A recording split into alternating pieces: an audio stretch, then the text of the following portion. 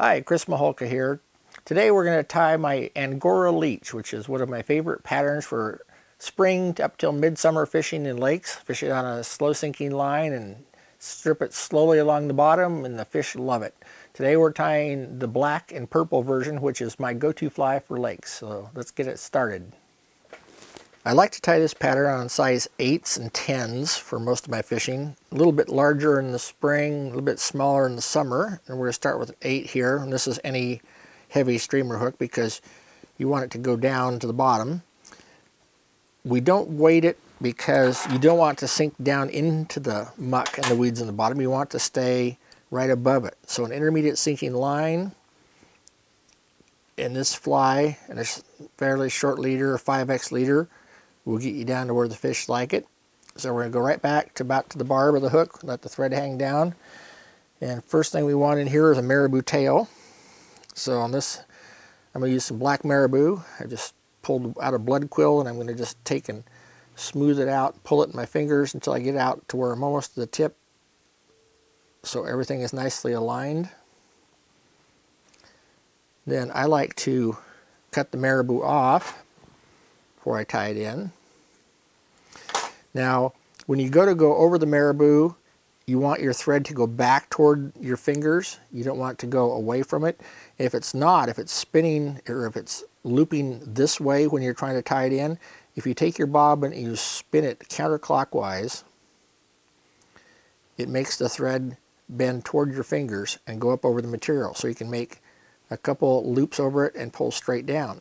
And the reason you do this is it keeps it straight down the back of the shank. It doesn't allow the marabou to roll around the shank of the hook. That way it stays nice and square on the back of the hook. Nice and parallel to the back of the hook actually.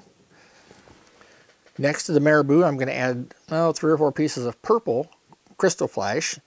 And what I normally do is lay it on the far side away from me. Make a couple wraps over it, hold it in place.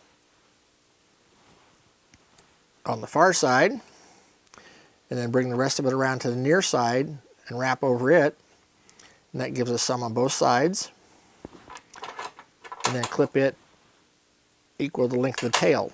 That gives us matching stripes on both sides of purple and it leaves us enough crystal flash to do a second fly out of those four strips. So now we've got our tail and our crystal flash ends. Now we're going to make sure that our body is nice covered with thread, the, the shank of the hook. Then I'm going to do my dubbing loop, and if you're not familiar with dubbing loops, I do have a dubbing loop video you can watch. Show you how to do this. So the first one, just going to wrap over it to the back, to right where the wraps over the marabou and the crystal flash are. Leave myself a nice long loop there. And I'm going to set that one aside, just kind of hook it over something on the back of the vise. And then we do a second one. And this is important to the construction of the fly. It's made with two dubbing loops and that's all. So here's the second dubbing loop. So I've got one up here on the vise. The second one I'll just lay it back up there also. Then I'm going to run my thread clear back up to the front of the hook. A little coating on the front of the hook and set that aside. Now I'm going to use, this is an Angora that I dye and uh, sell.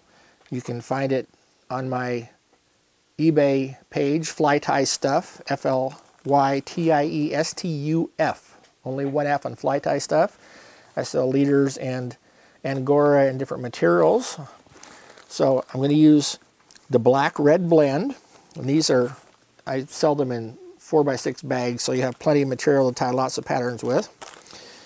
And this is a blend of black and red Angora.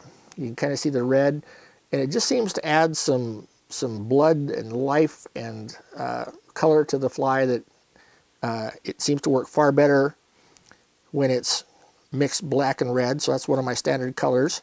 And I'm going to take this and fluff it out, put it in my hand. I'm going to roll it between my fingers, or between the palms of my hand rather, and make my dubbing noodle. Rather long dubbing noodle, but it's a big fly. So I'm going to put that in start of my first dubbing loop. Run it up tight against the fly, and then the back end I'm going to catch back here in the back of the dubbing loop. And I'm starting to twist it.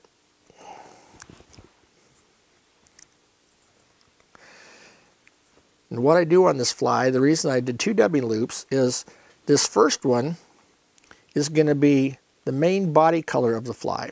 So it needs to be a thin,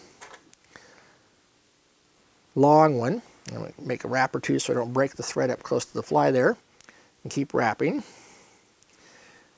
until I get it into the kind of the rope shape I want. About like that. And I'm just twisting and twisting with my hackle pliers. So I'm going to just start and go over Keep sure the tail stays in place there. This one's way too long for this fly, but that's fine. I can just cut it off at the front end. So I'm just wrapping to get it smooth. I'm spacing the, the, the small parts, I space them closer together, and then when it gets fatter, I go farther apart, so I get a smooth, even body. That's part of the dubbing loop process. Again, check out the dubbing loop video if you haven't ever worked with them before. Then I'm just going to clip off the excess, make sure I don't get my thread. So that's one dubbing loop. Now I've got my black and red body on the fly. I'm going to put a little half hitch in there so it doesn't come apart on me. Set my thread off to the side, just down on the table. Set it down on there so it goes out so it gives me room to work. Now I've got my second dubbing loop. Now this one is going to give the halo effect, and kind of a glow around the fly. So I'm going to use my Angora Purple for this one. And instead of doing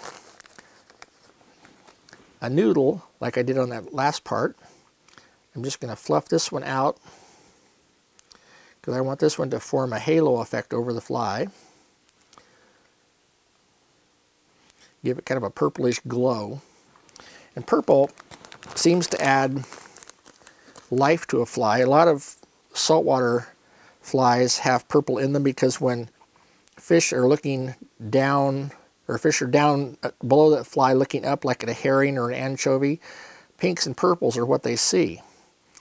So the glow of this fly down deep, I think the purple color just adds more life to it. So I've got right now uh, just a fluffed out bunch of dubbing. It's actually, you can look right through my fingers there, but it's actually pretty even all the way. And I want this fatter part to be at the front of the fly because I kind of want it to taper from thin to flat. So I'm going to flip it over. Just stick that in the dubbing loop. Try to catch it all there. And one piece wants to not cooperate. There we go. So once again, squeeze the loop together start twisting. If I get big globs like that one, I can just get it out of there now before I get too much wrapping done or too much twisting done. Grab it with my hackle pliers and continue the twist. And make a couple wraps there just to get rid of some of that bare thread that was up close to the hook so I didn't break the thread there before I even got a chance to start wrapping. And I'm just kind of spreading this out, fluffing it out a little bit. So when I wrap, it'll form a basic, almost like a, a purple uh, hackle, only it's a lot finer material than like a hackle feather would be. So I'm just making my wraps. I'm making sure I pull it back. So as I go around, I don't wrap over it and mat it down. This last little bit here where it's thicker, I kind of want it to be like a, a kind of a front hackle. So I kind of push it in together there so when I get close to the front, I can make that last wrap, wrap and a half, right up behind the eye of the hook.